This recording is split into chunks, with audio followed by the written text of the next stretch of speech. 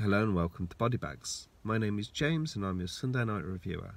And this week we have been doing our monthly theme week, and this time it has been films of Paul Naschy, the um, the Spanish horror actor slash director.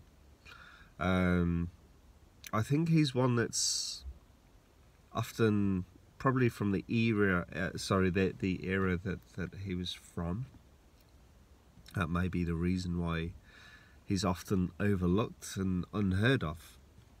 Um, I must admit, like I'm someone that's known about Paul Naschy for a long time, but has only seen a handful of his films, unfortunately. that it in itself is a bit of a crime, especially when you have some fantastic releases coming out. I mean, one of the biggest in the realms of horror as a release, releasing a, a company, Scream Factory. They've done a two box sets now, and um, excuses are fastly running out, people, of why you're not watching Paul Naschy. Uh, it's, I've had some fantastic uh, reviews this week, and I'll be following up with quite a short one because uh, I'm actually this is Monday morning, and I'm just got to the office at work, so I'll just be kind of running through very quickly um, Dr. Jekyll and the Werewolf from uh, what's this 71 or 73 I can't remember now.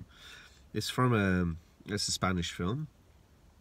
Uh, the the um, director um, Leon Leon Klimov, Klimovsky or something?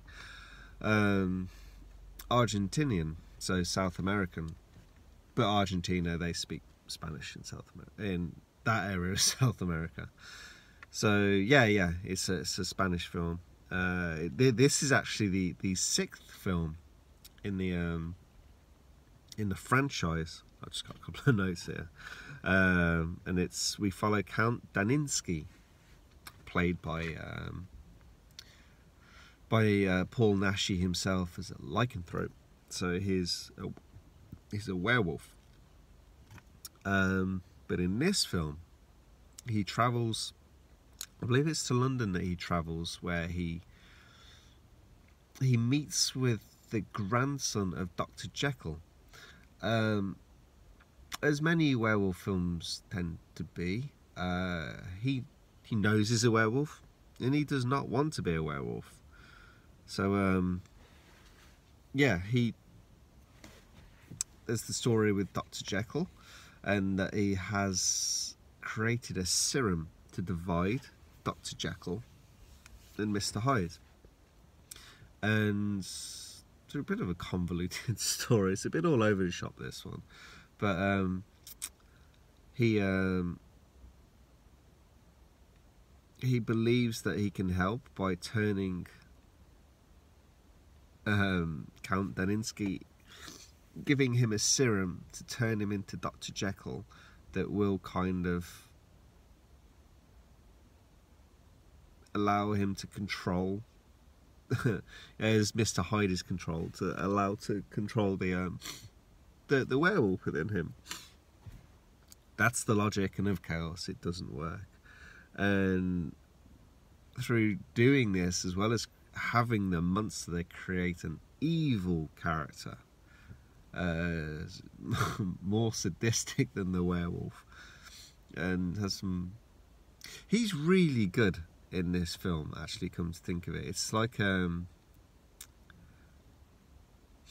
I'd wish they'd really focused on just Naschy's ability to be ability to be a complete bastard in this role because he's really evil and it's um it's a bit schlocky the film it, it's it could have been a lot stronger than than, than this kind of is I mean like I said, he's really great in this in this role, and you have, of course, we know how good he is. Well, we've heard some.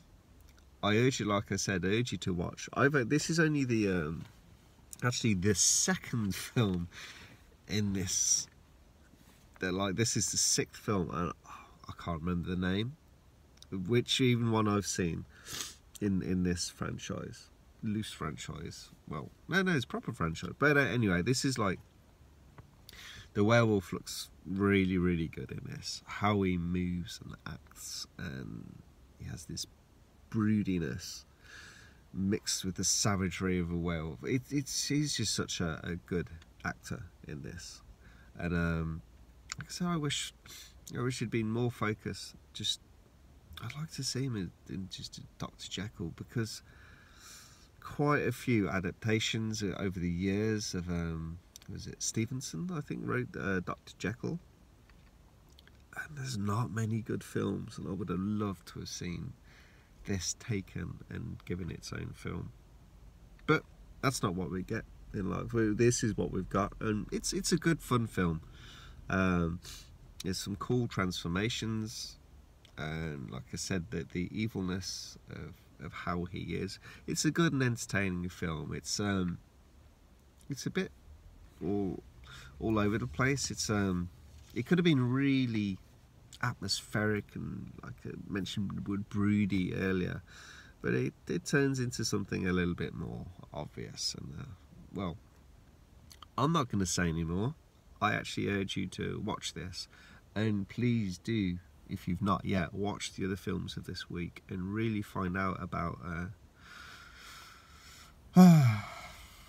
a gem of the horror film kind of cinema, the, the, the history of cinema, especially from Spain, is like such a huge, huge part of the Spanish horror film, uh, horror cinema uh, history that everyone should be watching more Paul Naschy. Um, and if you want some tips, watch our reviews. Thank you very much and see you next week. Bye bye.